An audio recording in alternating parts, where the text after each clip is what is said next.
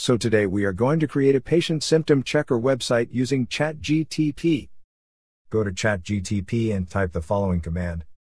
Using HTML, JavaScript and CSS, create a symptom checker for patients, where patients enter their symptoms and a diagnosis is given to them. As you can see, ChatGTP is generating the HTML, CSS, and JavaScript codes for us. ChatGTP has used an API for this project, but we don't want to use an API. Let us tell ChatGTP to update the code by using an array of symptoms and diagnoses. If we had an API, we could as well link it into our project, but that will be for the next video. As you can see, ChatGTP is updating our code and generating new files without an API needed. Now let us proceed and tell ChatGTP to link the JavaScript, HTML, and CSS pages for us. ChatGTP has done combining the three files for us. First of all, let us create the files that will store HTML, JavaScript, and CSS code. Now let us save the codes in their respective files.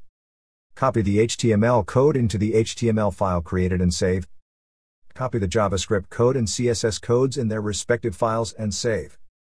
Let us now try loading our website and see how it looks. As you can see, this is our symptom checker. Let us try some symptoms and see the diagnosis. You can try to make it complex by telling ChatGTP to add more queries about diseases. Let us tell ChatGTP to make it a little more beautiful with Bootstrap 4 and CSS. We need something nice. See, it is updating the CSS file with Bootstrap 4. Now let us ask ChatGTP to help us link Bootstrap to our project. Boom! It has shown us how to link. Now let us copy this code into our HTML file and save. Let us try again and see the new look. As you can see, this is our updated website with some nice colors. Let us try some symptoms. You can make this complex by telling ChatGTP to create more pages and make a full hospital website with a symptom checker. Thanks for watching. Follow for more.